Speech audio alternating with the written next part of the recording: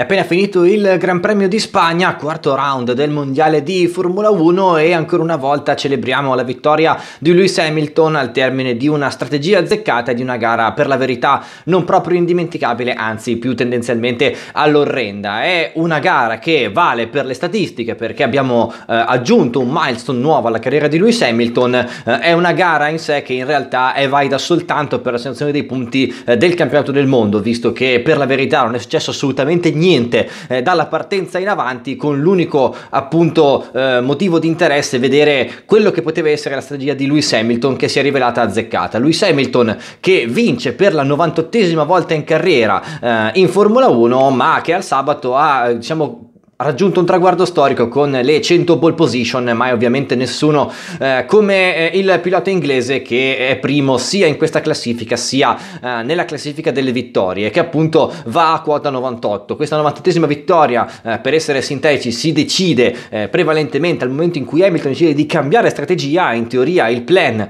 era per tutti i piloti di andare su una sosta sola, quindi partendo inizialmente con le gomme rosse e mettere le gomme gialle, alla fine Hamilton era sempre in scia a Verstappen, non riuscendolo mai a superare, cosa che invece Verstappen ha fatto eh, dopo la partenza. Eh, I due momenti chiave appunto sono la partenza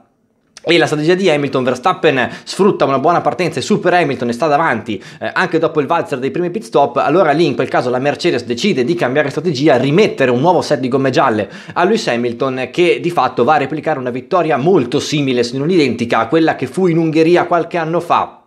dove appunto con una sosta in più, sfruttando anche eh, la freschezza delle nuove gomme e eh, sfruttando anche il fatto che Verstappen le gomme le aveva esattamente finite, eh, effettivamente va a pagare questa strategia e Hamilton vince per la 98esima volta e per la 98esima volta suona God Save the Queen in una gara veramente orripilante che non ha veramente tanto da dire, è un buon motivo dunque questa gara per fare una mia personale petizione e chiedere per quanto possa contare, cioè zero alla FIA, di togliere eh, questo circuito dal calendario perché eh, hanno ulteriormente poi cambiato il layout di Barcellona amplificando la curva 10 eh, che era uno dei punti di sorpasso della vecchia versione. Senza quella l'unico punto di sorpasso rimaneva il rettilineo finale e manco quello perché dobbiamo aggiungere il fatto che il DRS era assolutamente ininfluente nella maggioranza dei casi e dunque abbiamo assistito a 66 giri veramente orrendi, meno male che c'è stato Hamilton che ha dato un pochino di brio altrimenti altrimenti la gara l'avrebbe vinta Verstappen che per il campionato per la verità sarebbe stato anche meglio perché eh, il distacco adesso con questa vittoria di Hamilton è 94 punti per Hamilton e 80 per Verstappen quindi fanno 14 punti eh, per il pilota inglese di distacco che per la verità eh, ha eh, fatto il giro veloce della gara stavolta ufficiale confermato e dunque eh, limita un po' i danni in un duello che appunto vede Hamilton vincitore al quarto round in una gara per la verità non indimenticabile eh, appunto come dicevo prima è un buon motivo per per sostenere che il Gran Premio di Barcellona per queste Formula 1 lascia molto il tempo che trova e non ha regalato assolutamente nessun spettacolo. Ancora una volta il podio lo completa Valtteri Bottas che di fatto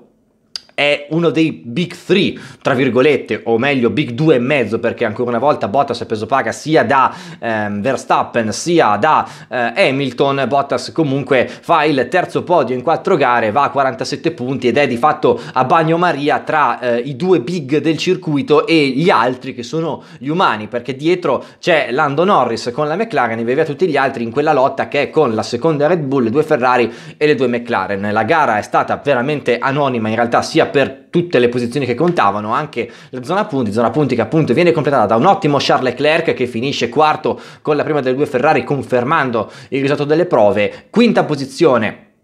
per quanto riguarda la gara di Barcellona e dell'altra Red Bull, Sergio Perez fa un'altra gara in top 5, molto bene il pilota messicano. Sesto è Daniel Ricciardo che per una volta batte Lando Norris eh, e, e, finisce appunto sesto con l'inglese ottavo. Eh, settimo è Carlos Sainz con l'altra Ferrari, ancora una volta un Carlos Sainz un po' di rimessa in questa gara. Ottavo posto appunto Lando Norris, nono Esteban Ocon con la prima delle due Alpine, grande gara ulteriormente di Ocon che ancora una volta batte Fernando Alonso e chiude la zona punti Pierre Gasly con la terza gara punti consecutiva ancora una volta decimo. Antonio Giovinazzi per quanto riguarda i nostri portacolori, il pilota italiano finisce quindicesimo in una gara anche per lui abbastanza anonima, l'Alfa fa il campionato degli altri altri, quindi se la gioca con la Williams e la Haas per la scuderia che di fatto fa meno schifo, ma un po' in generale la gara ha fatto abbastanza schifo per tutti in realtà e appunto registriamo semplicemente che ha vinto Hamilton, terza vittoria su quattro gare, 14 punti di vantaggio e ancora una volta appunto per lui suona l'inno britannico, paradossalmente la Formula 3 che ha corso sempre a Barcellona ha offerto molto di più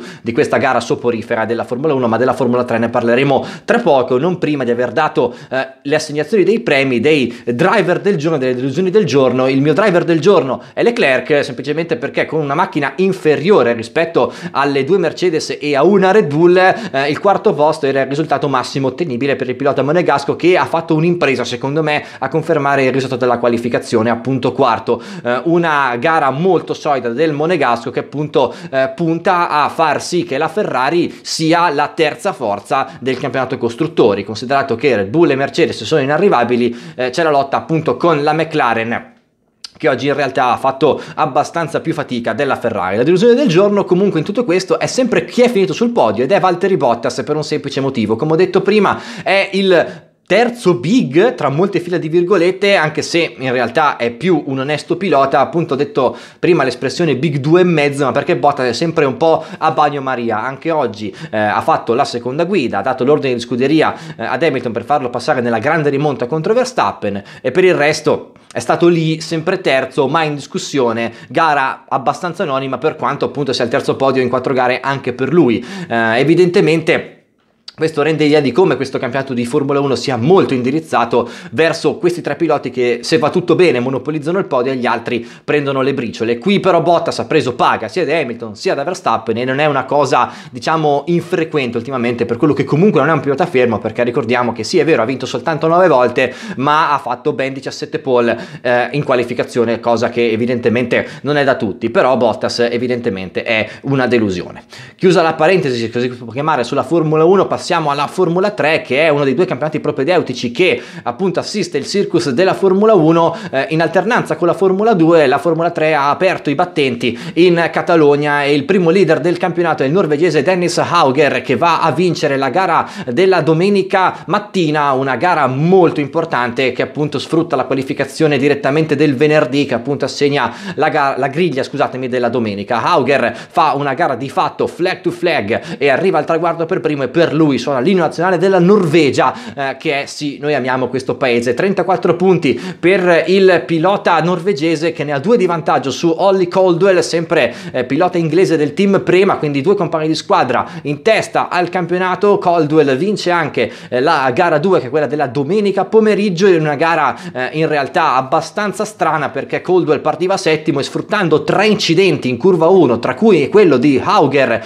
eh, e anche il nostro purtroppo Matteo Nanni Nannini si ritrova primo sfruttando i ritiri altrui e va a vincere la gara sprint del sabato pomeriggio e per lui suona Godside McQueen. Il terzo vincitore di giornata, che è anche il primo in ordine cronologico, è Alexander Smolniar, pilota russo del team Art, la seconda stagione eh, in Formula 3 e per lui suona l'ino della federazione russa per il primo leader della stagione. Gli altri piloti sul podio, in gara 1, primo Smolniar, secondo il francese con licenza britannica Clement Novalak e terzo Caio Collec, pilota brasiliano del team junior della Alpine, al primo podio all'esordio assoluto, attenzione alla, um, come dire, junior team della Renault o Alpine che dir si voglia, perché ha tanti piloti interessanti, tra cui anche Victor Martens o Martins, eh, come dovrebbe essere pronunciato alla portoghese. Um, seconda posizione dietro Coldwell per l'altro junior team della Renault e terzo è Frederick Vesti, pilota danese molto interessante che al secondo anno in questa stagione è passato al team Art ed è entrato nel programma junior della Mercedes, quindi podio importante per il danese. Eh, mancano appunto all'appello piloti importanti appunto come eh, Matteo Nannini, il nostro italiano più competitivo che dunque però rimedia all'incidente avuto in gara 2 con uno straordinario terzo posto che lo issa al nono posto in classifica del campionato. 16 punti per il pilota romagnolo che appunto va a legittimare una gara 2 molto sfortunata dove meritava oggettivamente molto di più. Seconda posizione invece per Jack Duan il figlio di Mick eh, junior team della Red Bull anche per lui eh, così come Dennis Hauger fa seconda posizione anche lui si riscatta dopo un sabato non propriamente interessante. Eh, chiudiamo la parentesi della Forma 3 con con il secondo italiano in gara, Lorenzo Corombo, un altro italiano, uno junior molto promettente, che però eh, in questa um, gara di Barcellona ha fatto purtroppo meno del potenziale e chiude le tre gare 23esimo, 22esimo e l'ultima di fatto non la corsa, finisce doppiato 29esimo a un giro. La Formula 3 tornerà in Francia a Le Castellet, mentre la Formula 2 tornerà in un circuito che eh, a sua volta è orrendo, non come Barcellona ma peggio, cioè Monte Carlo, dove tornerà anche la Formula 2 due settimane in una gara che obiettivamente avrà sulla carta poco da dire a meno di diluvi universali o mille safety car, in ogni caso anche Monte Carlo è un circuito che onestamente a me non piace, c'è un periodo un po' di magra, diciamo così, dopo tre gare interessanti fino a Portimao, Spagna e Monte Carlo sono state verosimilmente due gare orrende e poi vedremo cosa ne prosegue del campionato. Intanto fatemi sapere cosa ne pensate di questo Racing Podcast, il prossimo appuntamento con il canale sportivo sarà sabato perché a una settimana dall'avvio della Superbike arriverà il video di presentazione del campionato motoristico che io preferisco e poi domenica ci sarà il post gara di un altro campionato motoristico ma è la MotoGP che correrà invece in Francia alle mani.